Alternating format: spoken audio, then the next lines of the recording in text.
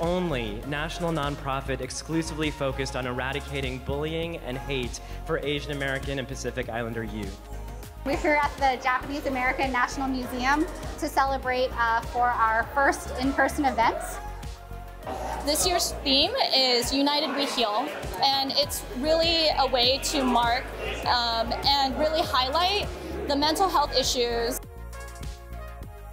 May 18th is the birthday of Vincent Chin, who was brutally murdered in an anti Asian hate crime in Detroit in 1982, which is why we mark May 18th as the National AAPI Day Against Bullying and Hate.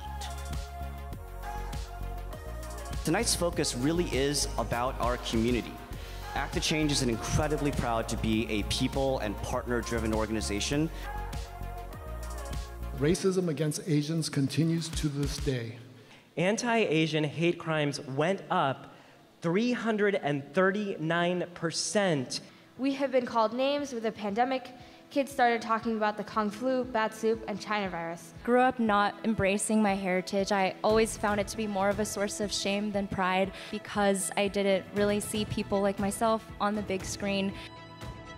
It's more important now than ever before that we stand up to xenophobia and racism. Because we believe that every young person has the right to be loved for being exactly who they are.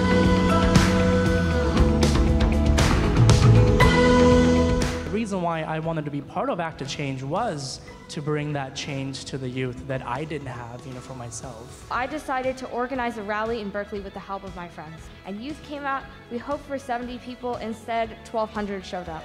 So you see, kids are never too young to act for change. There's a critical need to have a strong sense of belonging and pride in our identity and to provide healing and access to mental health resources. So many of you have been such an integral part of really amplifying this work and making sure that we're constantly having these conversations.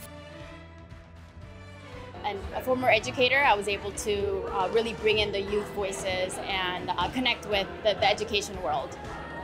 While it was for a worthy cause, of course, and I'm happy to be a member of the queer community, I wanted to give back to my community specifically. We also have incredible sponsors who made this day happen. The museum itself is about promoting understanding and appreciation of America's ethnic and cultural diversity. I hope that we are promoting a lot of healing to bring every single person into this work to fight for justice, equity, for the liberation of all of us. Bullying for API youth is such a huge issue that doesn't get talked about enough. So we're incredibly honored to be here today. Everyone has the power to make change, and uh, we follow in the footsteps of Act Change.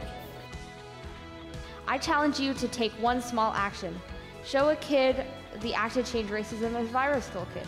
Sign our 1 by 180 pledge. Follow Hate is a Virus, but most importantly, be kind.